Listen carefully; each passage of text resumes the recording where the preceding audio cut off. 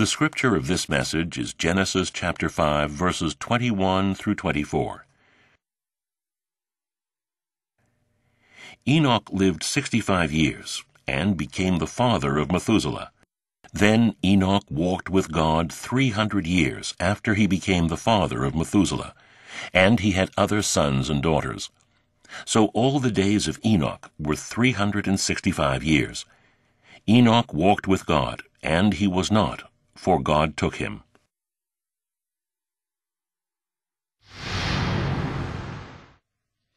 Dear brothers and sisters in Christ, now let me talk about Enoch, the seventh generation from Adam. The record about Enoch in the Bible is short, but its lesson is so great. The first is that Enoch lived the life of walking with God even on this earth, and second is that he was taken up alive. The Bible tells us about Enoch a little differently, unlike most others. That is, God walked with Enoch. God walked with him for 300 years. In the Bible, there is no one else that God walked with. God walked with Enoch. And he was taken up alive without seeing death. This is a special case. There are only a few in the Bible such a case as this. Only these two facts are enough to explain how great the forefather of faith Enoch was. Just as the 2 Timothy 3:16 says, all scripture is inspired. Inspired by God. Now, when God inspired the recorders of the Bible, he emphasized different aspects of the forefathers of faith. For example, he put the stress on faith when talking about Abraham. For Moses, it was about the life of a leader recognized by God. God emphasized the uncompromising faith of Daniel and how David became a beautiful vessel after he passed the refinements with his love for God.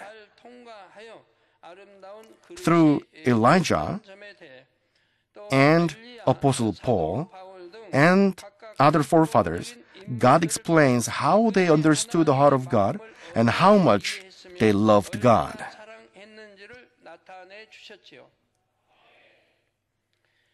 Then what is it that God wants us to learn from Enoch? It is the fact that God truly loves one who is of goodness without evil, and that God wants to have him close to him.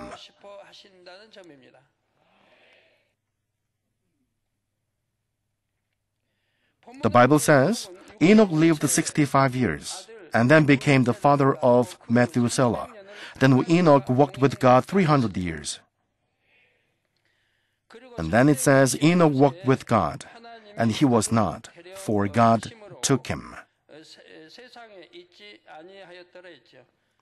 He was taken by God, and he walked with God for 300 years. God took him when Enoch was 365 years old. The Bible says he was not for God took him. He was not for God took him. By his time, the average life of a man was over 900 years.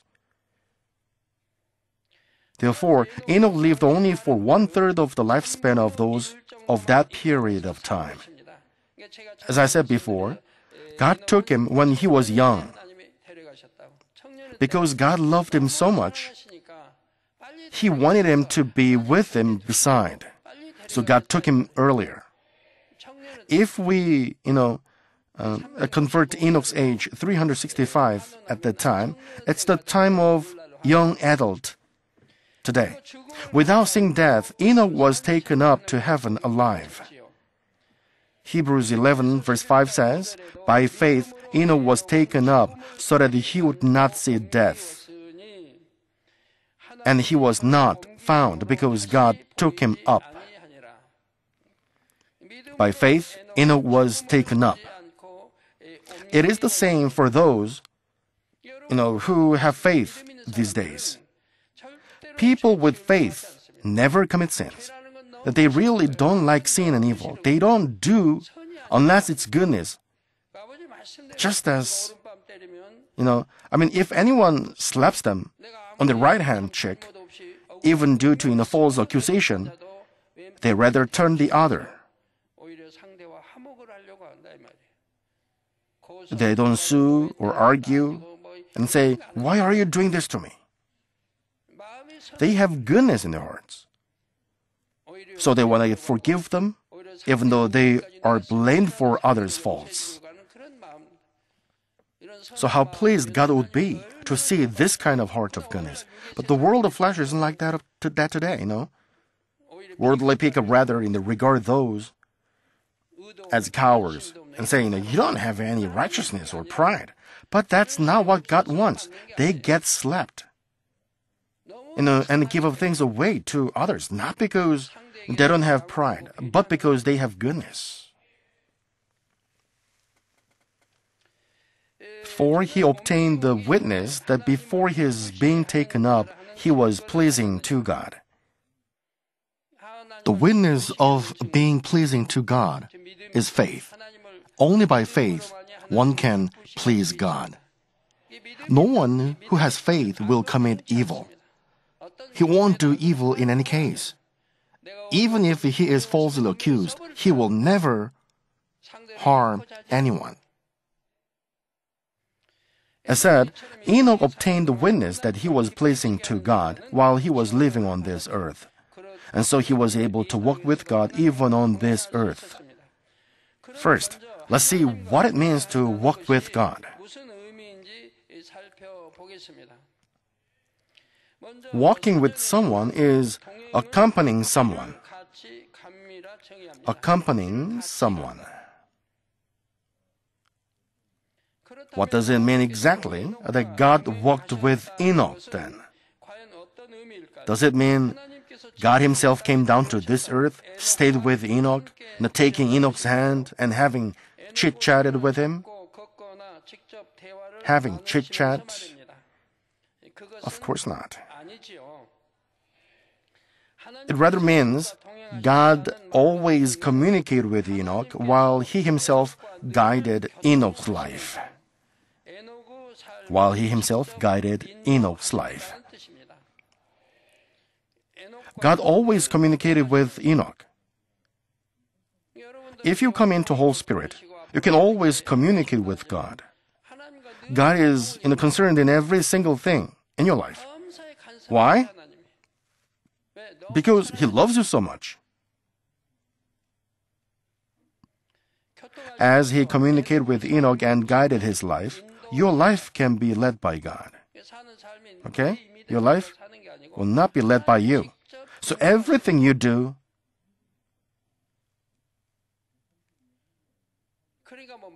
it will prosper.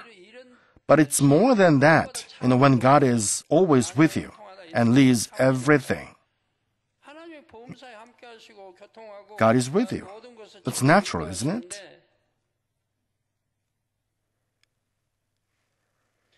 During this time, God taught Enoch much spiritual knowledge. He vividly revealed the facts about God the Trinity, about the providence of human cultivation, and about the secrets of the spiritual realm and heaven. He also told him about the future. For example, in Jude 1 verses 14 and 15, Enoch prophesies about the things that will take place at the end of human cultivation.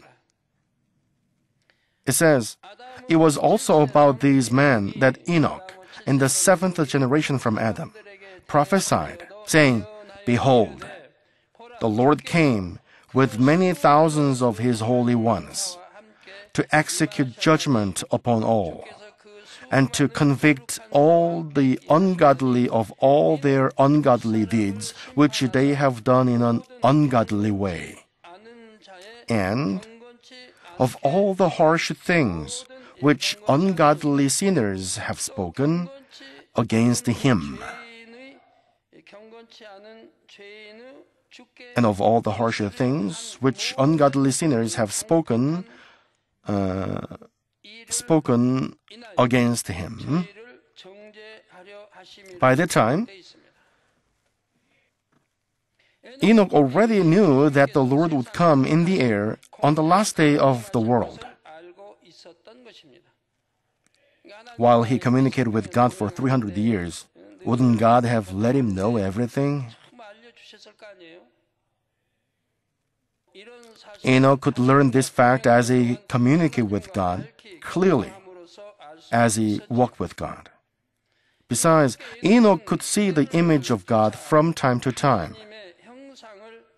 And this fact implies two things. First, just as when God came to Adam when he lived in the Garden of Eden, God would also come to Enoch as a separated spirit. God inspired the heart of Enoch so that he could feel as if God were with him. And God explained specifically to Enoch about God's image that he had never talked about to anyone. God revealed everything about himself so that Enoch could even draw the image of God only if he had wanted to.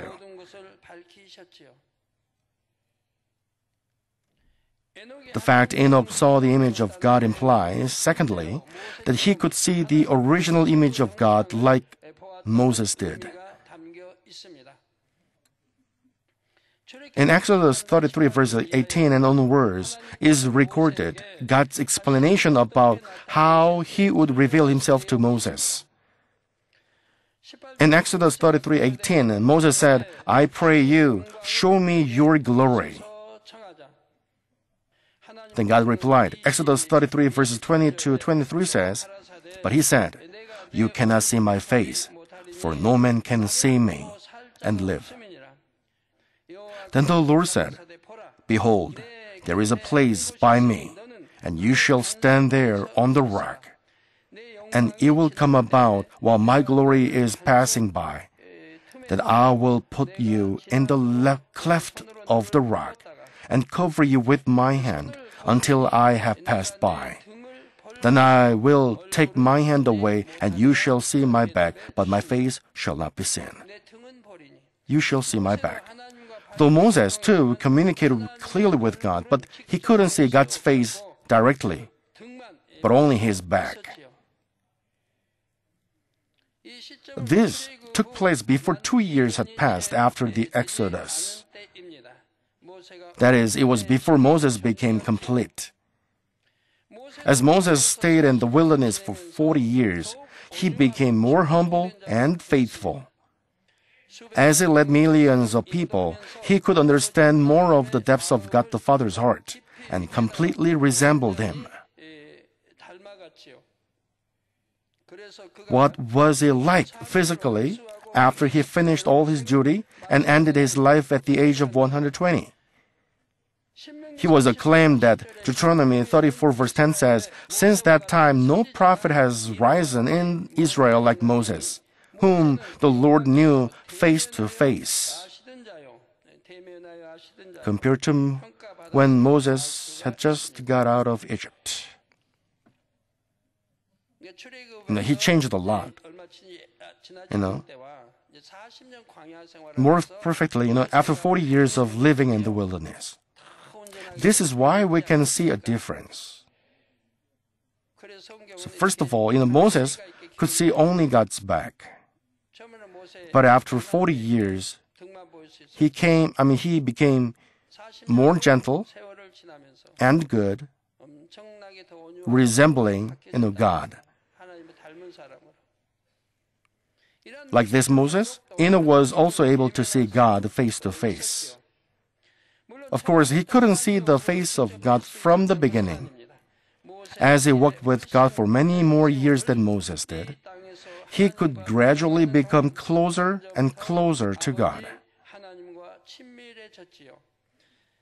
Only after he was close enough to God did God show his face to Enoch.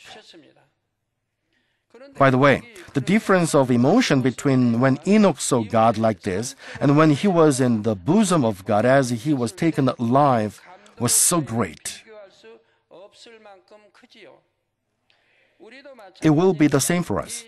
We can greatly feel the love of the Father in the inspiration of the Holy Spirit on this earth. But how great will our emotion be when we directly see the Father in heaven? Regarding this, the 1 Corinthians 13 verse 12 says, For now we see in a mirror dimly, but then face to face.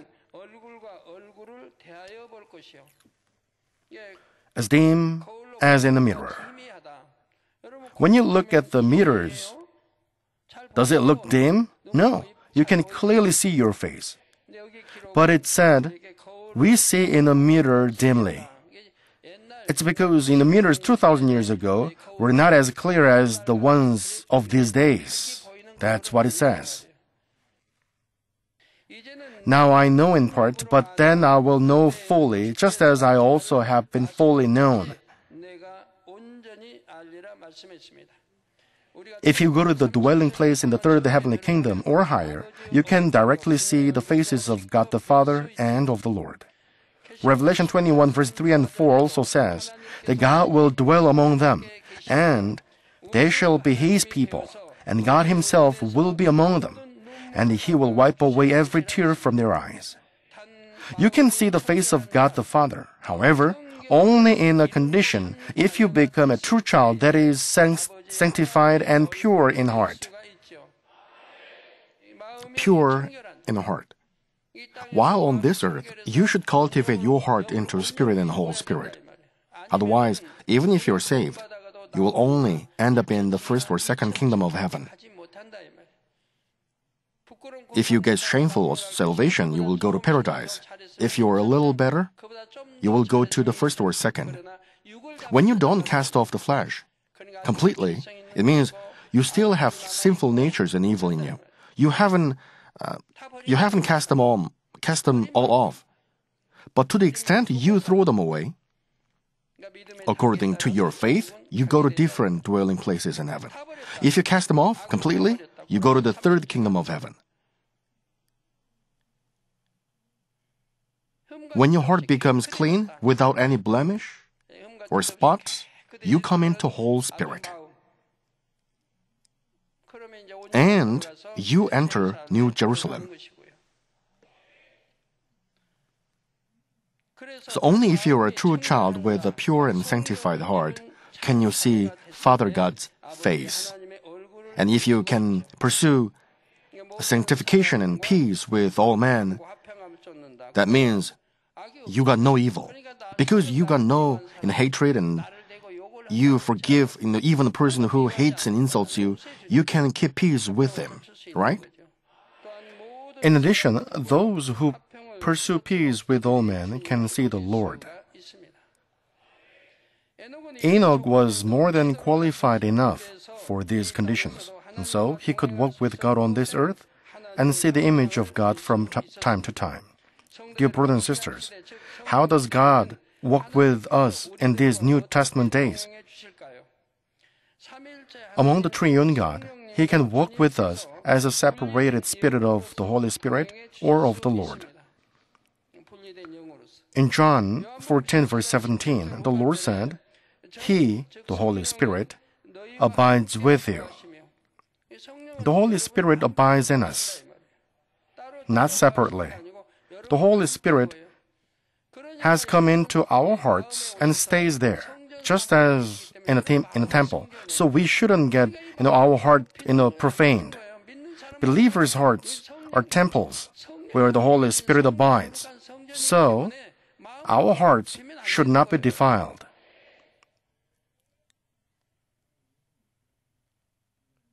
We should cleanse our hearts. If we do, so will our ideas. Then no bad or defiling thoughts can come into your mind. You couldn't, you know, you cannot condemn or judge others. If we have sanctified our hearts, ideas of good, you know, come into our mind. If we have gentle and you know, good hearts, we think with goodness and gentleness. We should be, you know, like this. How wrong it is for believers to have filthy ideas in their hearts and to condemn and judge others. Ways of believing life were taught you know, many times at this church, but there are some who didn't obey.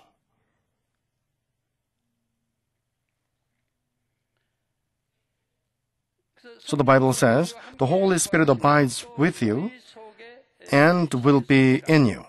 I said, you know, Holy Spirit dwells in us. The Holy Spirit abides with us and He is also in us. Mark 16 verse 20 says, And they went out and preached everywhere, while the Lord worked with them and confirmed the word by the signs that followed.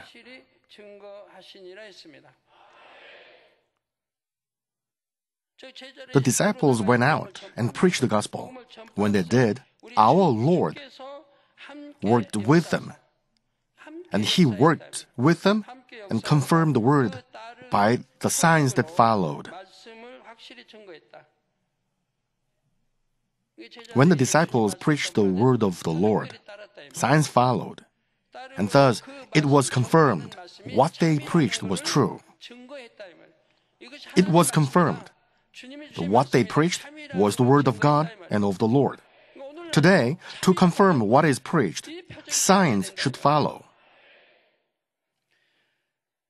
It means the Spirit of the Lord was with his disciples when they preached after he resurrected and ascended into heaven. Then would the Lord himself come down and stay with us?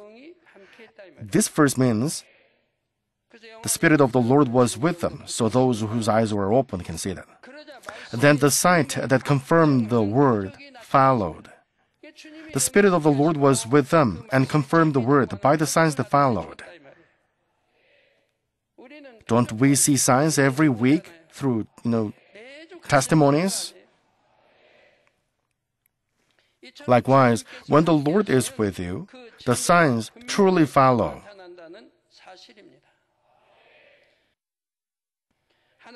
What did I say? is the lesson that God wants to give us through Enoch. It is that God truly loves the ones who are of goodness with no evil, and God wants to have know, these people close to Him. May you possess much more beautiful heart of goodness through this message about Enoch. In the name of our Lord Jesus Christ, I pray.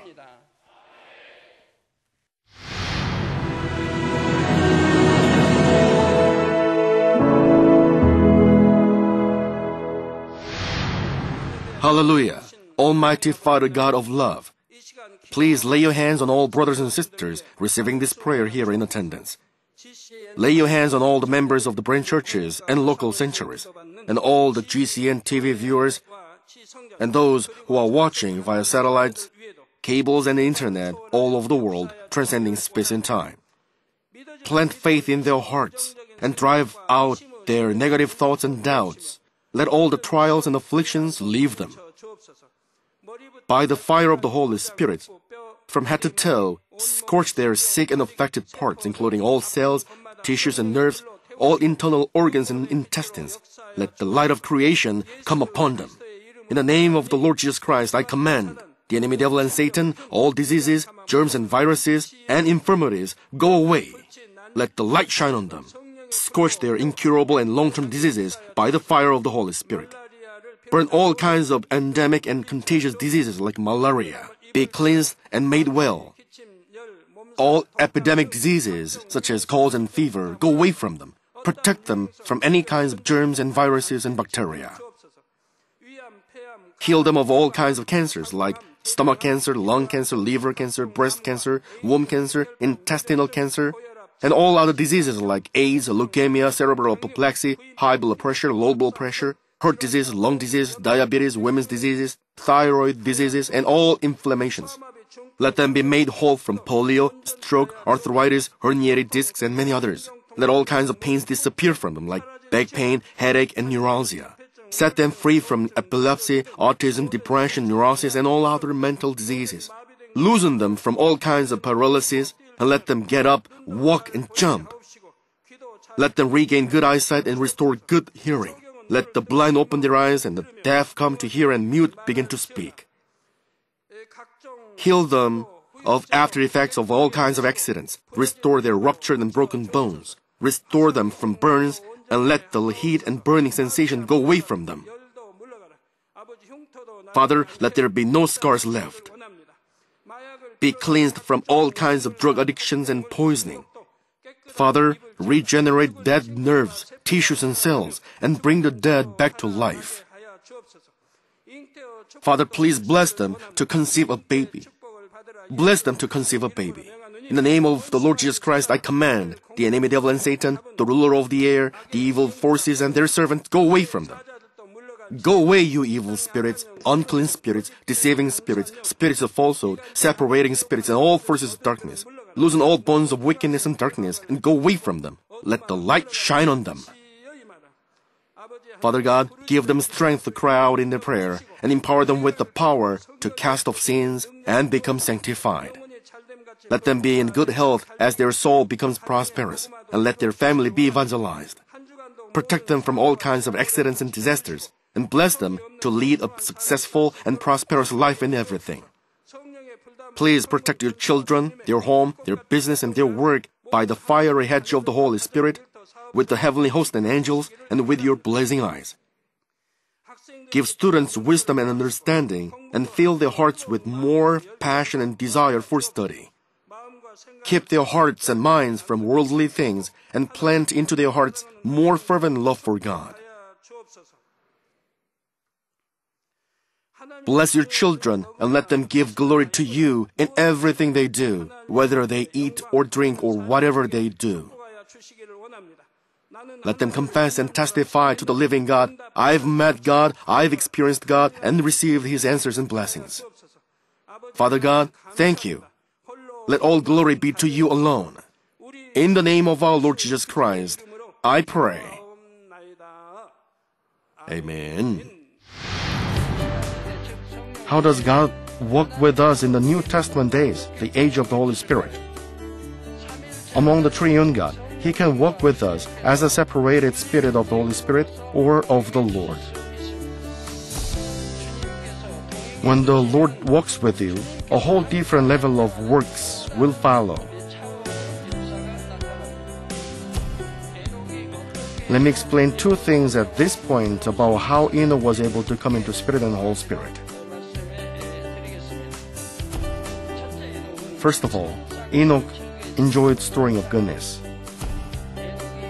The fact that Enoch was able to walk with God when he was 65 means that the whole goodness he stored up just reached the full measure.